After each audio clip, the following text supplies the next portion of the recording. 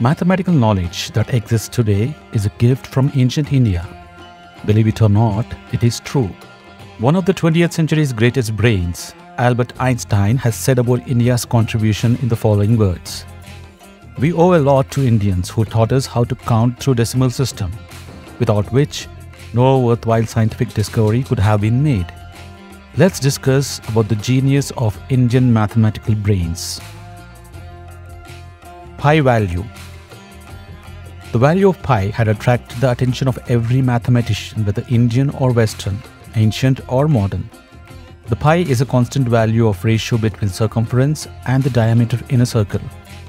Great Indian astronomer Aryabhatta of 5th century AD had calculated the value of pi as 3.1416, which is accurate up to 4 decimals. Apart from Aryabhatta, Mahaviracharya, Bhaskaracharya, Nilakanta Somayaji, Ramanujan also had calculated the value of pi. Circling a square and rectangle, which are equal in areas, can be found in Indian mathematical texts.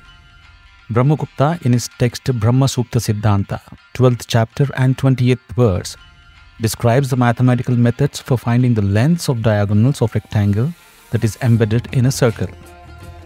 Bhaskaracharya, in his book Lilavati, describes a cyclic quadrilateral cyclic pentagon, cyclic hexagon, and cyclic octagon, and further postulates that the sides of quadrilaterals and the diameter of the circle that is circumscribing them shall be in a constant ratio.